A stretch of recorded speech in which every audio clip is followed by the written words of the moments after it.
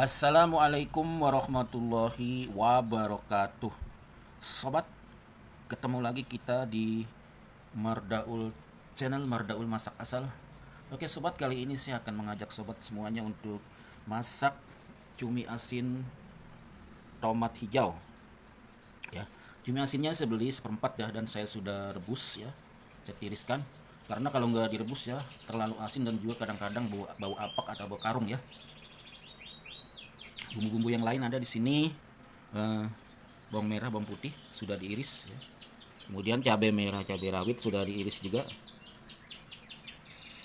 Tomat ukuran besar sudah diiris ukuran besar juga irisannya ya. Kemudian tomat hijau ya. Tomat hijau saya iris saya potong dua potong dua ya.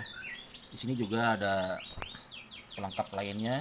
Daun salam daun jeruk lengkuas serai serai dan lengkuasnya sudah digeprek ya. Oke sobat. Kita lanjut memasak ya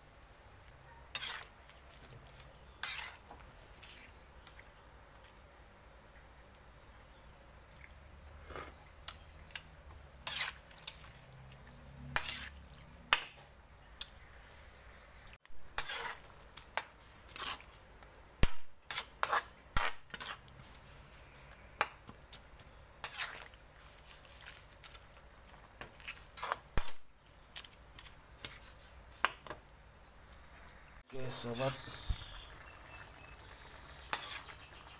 Oseng cumi asinnya sudah matang ya. Siap disajikan Di plating untuk thumbnail ya. Disajikan untuk disantap bersama keluarga Atau bersama teman. Oke sobat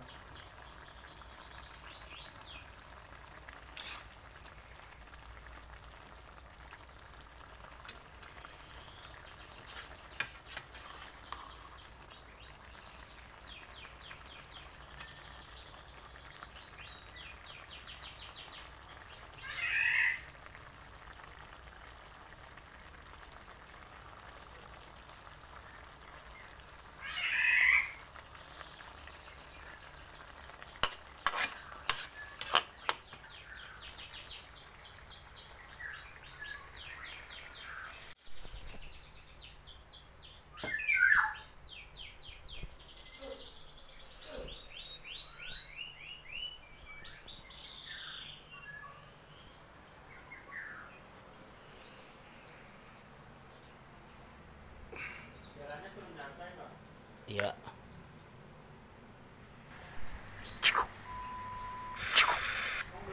ting tong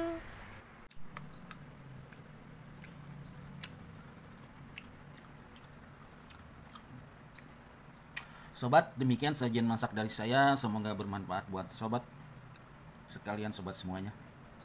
Sobat, apabila ada salah-salah kata maupun salah resep daripada bumbunya, saya mohon maaf yang seluas-luasnya.